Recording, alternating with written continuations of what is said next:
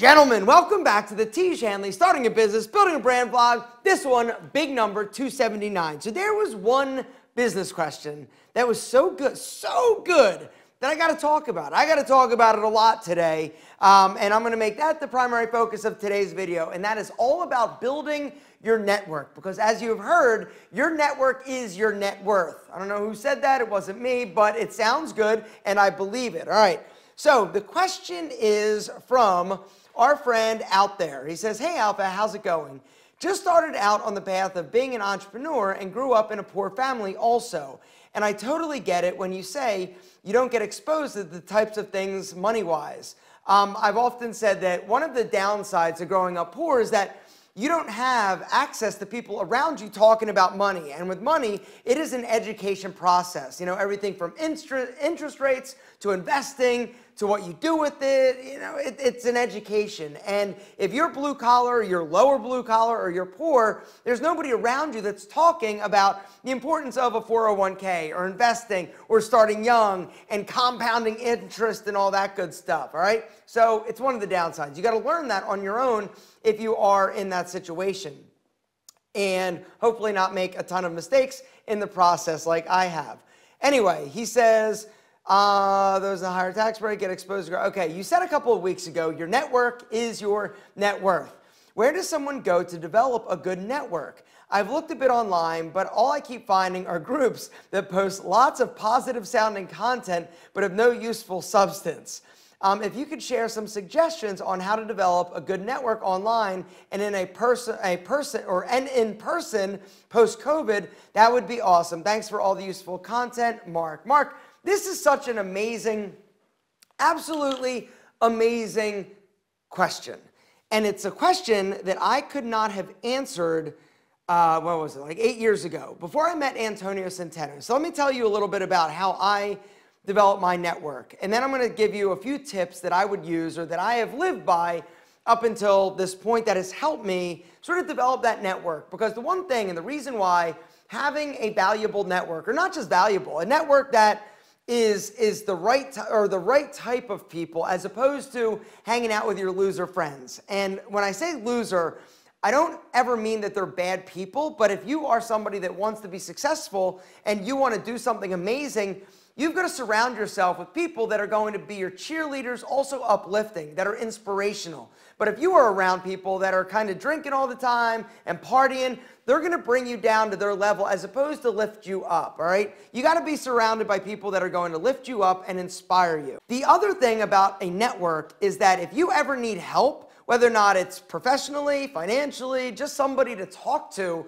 that gets it, they're going to be there for you. And when I was starting out on my entrepreneurial journey, you know, the one thing that you're going to realize is that it is lonely. It can be very lonely because you don't have friends necessarily at this point when you're starting that get it, that understand, that are on the same trajectory or path or have the same goal. You know, so for me, when I started being an entrepreneur and I was having like really hard times, I really couldn't go to my friends that were working, you know, nine to five jobs that had a 401k that were sort of, you know, not doing the things that I was doing. And so it was a very lonely road. A lot of things that I was going through I didn't have anybody really to talk to. So what I would do is that I would talk to my wife about certain things, but I wouldn't burden her with things that were hard because I didn't want her to worry, right? So I'd always be going to her and saying, hey, isn't this amazing? Isn't this awesome? Isn't this going to be incredible? And she came to me one day, she goes, you're always so excited about all sorts of things. It's hard for me to match you in terms of excitement all the time because you've got so many things going on. And so at that point, I kind of shut down a little bit. I'm like, well, I don't want to I don't want to always, you know, need somebody to say, hey, great job, well done. But I also didn't want to, like I said, burden her with things that were hard or things that I was going through because I didn't want her to worry. I wanted to be that rock. I wanted to be stoic. And so I was lost and it was very lonely. And then one day, Antonio Centeno, this is probably eight or nine years ago, reached out to me and said, Hey, I'm going to Anaheim, California to actually go to this conference. It was VidCon.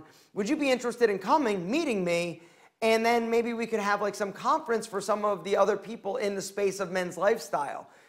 And at that point in my life, in my mindset as an entrepreneur, was either I'm winning or you're losing. I viewed everybody as competition. And as my competition, I didn't want to talk to you. I didn't want to hang out with you. I didn't want to associate with you because in my mind, I was either winning or you were winning. And if you were winning, that meant I was losing.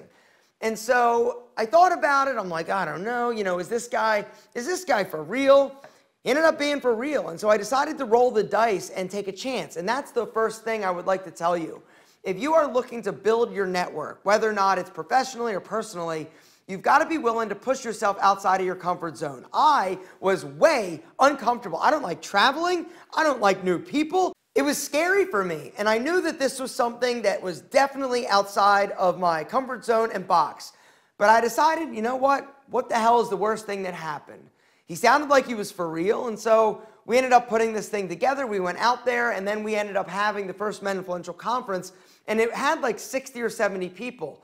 From that point, from that moment, my life changed. The trajectory of myself professionally, but also personally, everything got better. I was amongst my people. For the first time in my life, I was surrounded by other people that were hungry, other people that were driven and motivated. And these people became not only my network, some of them became my absolute best friends. I found my tribe, people that I wanted to be around, people that got it, people that inspired me, people that pushed me to be better, people that made me think about things that I wasn't thinking about before. It was the point in my life that everything started to escalate, everything started to scale.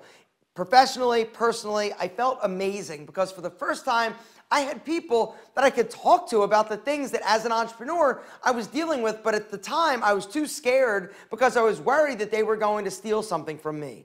And since then, everything has gotten better in my life, like I said. And that is something that when you find that group of people, that tribe, you got to hold on to them and you've got to use them to not only lift yourself but also help uplift them and get everybody to like raise up. They say a rising what is it a rising tide lifts all ships?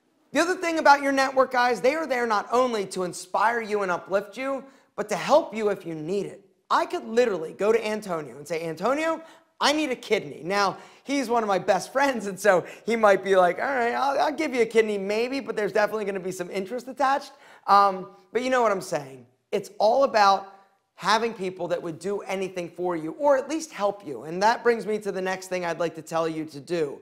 And that is be nice to everybody. I'm not saying that I like everybody, but I'm nice to everybody because you never know. You never know when you may need something from somebody. And when you go around burning bridges or, or being a jerk, or if people don't like you because you're rude or ignorant or you've stolen from them, the chance of them helping you is like zero. My grandfather, who I'm gonna reference twice in this video, is one of my heroes. He was one of the people that in my life when I was growing up, he was that rock of the family and I, I love him with all my heart. Anyway, he was one of the inspirational people in my life. There are three men in my life that I consider to be pivotal. That is my wrestling coach. These are in no order. My grandfather and my father. Those three men changed my life and the trajectory of my life. Anyway, he said, he had a saying that said, I can get along with anybody I want to get along with. And what that means essentially, think about that for a second, you can get along with anybody you want to get along with. It doesn't mean that the person is a great person. It doesn't mean that you have to agree with them. But if you want to get along with them, you can get along with them. You don't need to go to Christmas dinners with them if you don't want to, but you can get along with them. Too often we burn bridges or we see something that happens and we're like, screw you, I don't want to be your friend, I don't want to do whatever, I'm going to speak my mind and I'm just going to feel better once I'm done burning that bridge, right? Which brings me to a second thing that he has told me, and that is you either feed your ego or your family. Think about that. You either feed your ego or your family. And in business, that is a very, very, very, very important thing to wrap your brain around. You either are going to be right and feel good about the fact that you showed them or whatever it is, or you're going to be quiet, suck it up, do what you need to do because your financial prosperity and your ability to feed your family and be successful depends on it. The amount of times that I have shut my mouth, even though I would love to metaphorically punch somebody in the face and never deal with them again, like it's been a lot, right? We all have had situations like that. But you've got to, as an entrepreneur, keep it, push it down, deal with it, so that you don't actually burn that bridge. You know, there are people throughout my YouTube career and business career, there have been people that I have helped out that I see, and that's the thing. For me, it's all about helping out people. Help out the little guy, you know, because we all were little guys at one point, and we may be little guys again. And you never know when an act of kindness or generosity or help to people that can't actually help you at this point, or you don't need them right now, when you're nice to them and you do something to help them or uplift them, I've helped a lot of people out. And that's my character, that's my nature, that's what I enjoy doing. And I've said this before, you know, what I feel and truly believe success is for me now that I realize is helping other people. There's no better feeling that you get. And there's no better way to build your network, build your camaraderie, build goodwill with other people, whether or not it's professionally or personally, like helping somebody out, helping somebody that can't necessarily do anything for you right now other than be grateful. It's incredibly powerful. And that is one of the reasons why I've been able to build my network is because I've helped a lot of people without ever asking anything in return. And that's the thing. You've got to be willing to give without expecting something in return. Because when you expect or when you do something for somebody and expect something in return, that's when A, you're going to be disappointed because chances are they are going to disappoint you and it's not going to come to fruition. But it's also not the right mentality to have. You've got to be able and have the compassion and ability to help people even when there's not something necessarily in it for you other than that good feeling. Now, in the future, you may need them, but in terms of, of now, you don't, but help them. In terms of where to go to find people to start networking with, that's all over the board. It really depends on you and your situation. I do agree with you that a lot of these like groups on like Facebook and different forums forums are definitely um, you know, a lot of inspiration, but in terms of real value, I'm not sure. I would though keep your eyes open and look. If there's somebody or a group of people that are doing things that you want to do, definitely follow them, start interacting with them, and reach out to them if you want to. I mean, there are all sorts of different ways or methods to actually connect with people that are going to help you build your network. Like I said, just be nice to people. That is the first step. Guys, if you have a recommendation on how to start building your network, down below in the comments, please start it with network building and give your advice, give any links that you may have. I think this could be a really cool like resource for other people. Any ideas? None are stupid, so down in the comments, let us know. Speaking of not stupid, there are a few quick business questions that I want to dive into now. The next business question, I'm going to try and blast through these fairly fast because I'm running low on time. I got a Tiege Hanley meeting in literally 15 minutes. Uh, the next question is from our friend Sean C. He says, is transformational leadership or transactional leadership best in hospitality? General transformational would be the answer. They want short-term results. All right, so the difference between transformational leadership and transactional leadership is essentially transformational leadership is all about helping people that follow you or your employees or staff basically share a vision. It's all about inspiring and uplifting them. Transactional is more like results oriented. Of course, the answer is transformational, but unfortunately, a lot of times this is something that takes a lot more time and it's a cultural thing. It's all about that corporate culture. Does your corporate culture at the top have that mindset or is it more transfer, transactional? And if the answer is it's transactional, they have results, they've got numbers, they want processes hit and matched, and you got to do it or else you're in trouble. There's no changing that, honestly, until the top changes. It's a top down type of thing. And so, if you are somebody in the hospitality industry and you want to work for an organization that has a more shared vision or is more transformational, you're probably in the wrong place or wrong job or wrong company. But it's worth looking for somebody that might share your vision or a company that does inspire people more than the company that you're actually working with. Now, if none of them do. It's your job to actually fix it possibly. And so that requires you to climb that corporate ladder quickly. Man, there are so many like great business questions. Okay, so here's what we're gonna do. I'm running short on time. I literally have 10 minutes before my meeting starts, and I don't wanna, the questions deserve a better answer than I will give you if I do them now. So here's what I want you to do. Guys, if you have a business question, start it with business question, ask it down below. If I didn't get to your business question from last vlog, copy and paste it in this vlog. And next week, I'm to make the, the, the vlog all about your business questions and sort of go through them like rapid fire.